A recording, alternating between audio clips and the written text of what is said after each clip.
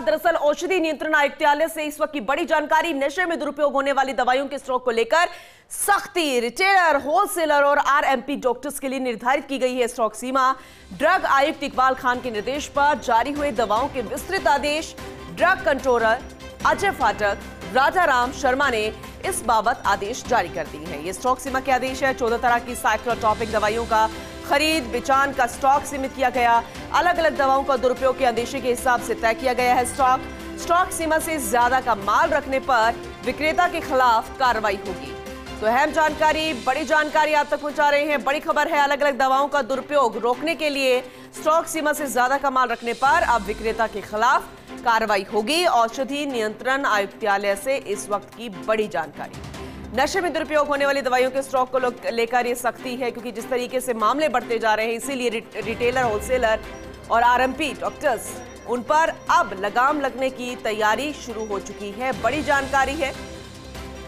दरअसल चौदह तरह के साइक्लोटॉपिक दवाइयों का खरीद बेचान का स्टॉक सीमित किया है। अलग अलग दवाइयों के दुरुपयोग के अंदेशे के हिसाब से इस स्टॉक सीमा को तय कर दिया गया उससे ज़्यादा का माल अगर आप रखेंगे तो फिर एक्शन होगा। रिटेलर होलसेलर और आरएमपी डॉक्टर्स के लिए इस स्टॉक सीमा को तय कर दिया गया है।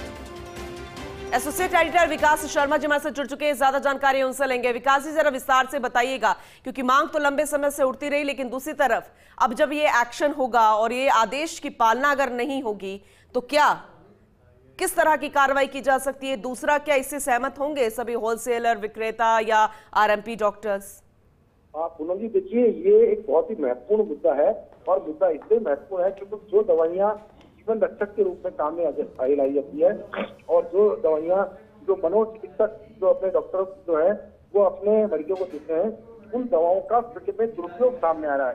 दुरुपयोग किस तरह सामने आया है? कई बार हमने देखा हमारे जो दवाई है उसका उपयोग किया दुरुपयोग होता है एविल इंजेक्शन है उनका दुरुपयोग होता है और ये सब कुछ दुरुपयोग होता है नशे के कारोबार में।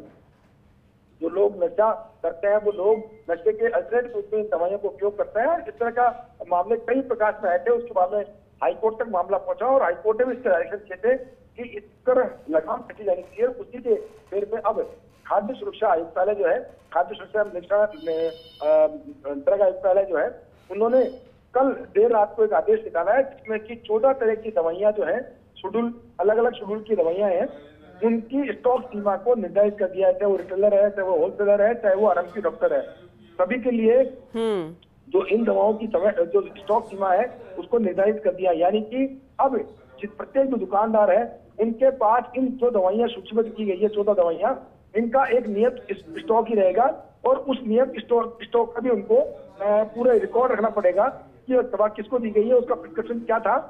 और जो स्टॉक है उस स्टॉक से अधिक अगर वो दवाई रखते हैं क्योंकि देखिए अगर स्टॉक सीमा तय कर दी तो उससे अधिक की दवा नहीं रख पाएँगे तो उसमें उसमें एक कह सकते हैं कि एक अनुमान लगाया जा रहा है इस बात को लेकर कि इससे हम्म। दुरुपयोग रुक सकता है और थोड़ा कंट्रोलिंग दृष्टि होगी तो इस बात को लेकर के एक बड़ा आदेश निकाला है। ड्रग कंट्रोलर अजय फाटक और राजाराम शर्मा ने संयुक्त रूप से आदेश निकाले जो कि फ़ील्ड में आज से लागू कर दिए गए हैं। चलिए ठीक है आप बने रहिएगा हमारे साथ।